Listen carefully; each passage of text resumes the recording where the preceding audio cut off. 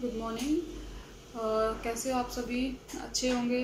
आज हम बात करने वाले हैं करेले के बारे में। देखिए, करेला तो सभी खाते हैं, हफ़्ते में एक दो बार खा लेते हैं, लेकिन अगर उसका डेली इंटेक करते हैं या एक से दो दिन में इंटेक करते हैं मतलब वीक में तीन से चार बार अगर हम इंटेक करते हैं तो क्या क्या फ़ायदे हो सकते हैं?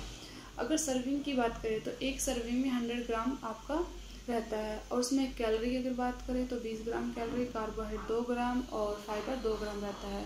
इसमें न्यूट्रिएंट की जो वैल्यू है वो काफ़ी अच्छी रहती है। विटामिन ए विटामिन सी इसमें रिच होता है। फोलेट विटा और पोटेशियम जिंक और आयरन ये भी सफिशेंट अमाउंट में होता है।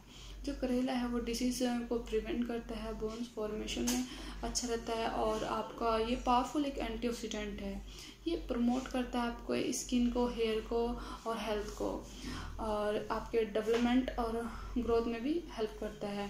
एक मैंने बताया आपको जैसे कि पावरफुल एंटीऑक्सीडेंट है तो अगर चेहरे पे पिंपल्स हो जाते हैं तो अगर आप डेली एक करेला खा रहे हो या एक सर्विंग ले रहे हो करेले की तो आपको पिंपल्स नहीं होंगे।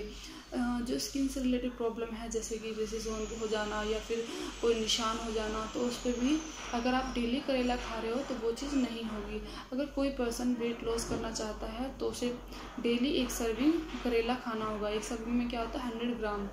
तो उसका वेट लॉस भी हो जाएगा, क्योंकि वो रिड्यूस कर देता है आपकी हंगरी को रेपिटाइट को। और ये न्यूट्रिएंट का पैकेट होता है करेला। इसमें सारे सारे न्यूट्रिएंट जो है, वो अवेलेबल होते हैं। तो मैं डाइटिशियन चंदा मलिक आपसे कहूँगी कि आप डेली एक करेला ज़रूर खाएँ।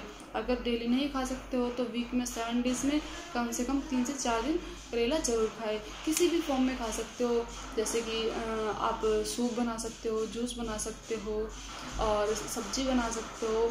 और ये जो पर्सन को डायबिटीज़ है, अगर डायबिटीज़ सुबह सुबह करेले को लौकी के जूस को लेते हैं तो उसके लिए भी फ़ायदेमंद रहता है। अगर वीडियो अच्छी लगी हो तो लाइक करें शेयर करें और कमेंट करें।